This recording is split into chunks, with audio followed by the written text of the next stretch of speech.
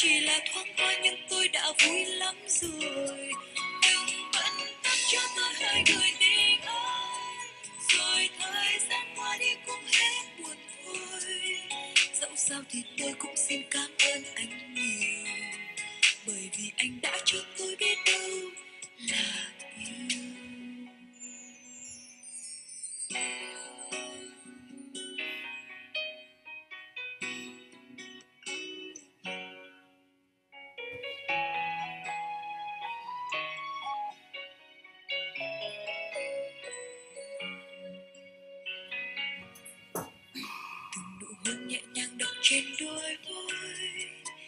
chuyện tình yêu ngọt ngào của tôi bắt đầu.